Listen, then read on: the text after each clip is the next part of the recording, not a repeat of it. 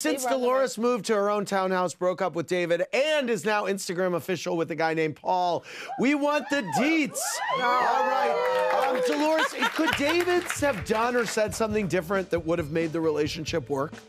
He could have done a lot of things different, sure. Yeah. Like, show up a little more? Yeah. Yeah. Um, you just went Instagram official with your new boyfriend, Paul.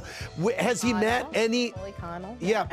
Wow. And he's from Ireland? Yeah, he's He a has an accent? He does. He's a Dubliner. Yeah. Wow, he does not sound very Jersey. no, he's No. not. Um, has he met any of the housewives yet?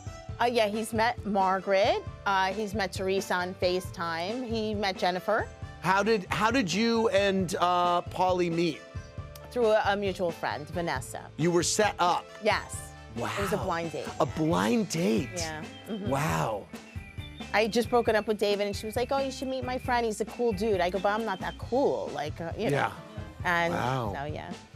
Uh, you told me at the season 11 reunion, David didn't know how to be in a relationship. How's Paul faring in that department so far? Paul's good. He's it's a very different relationship. We do a lot together. Does We've he been on a watch the show? Uh, he's watching right now. Yeah. And what does he think?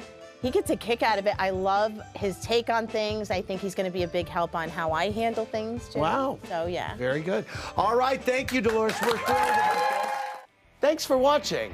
Watch more clips here and subscribe to our channel here. See ya.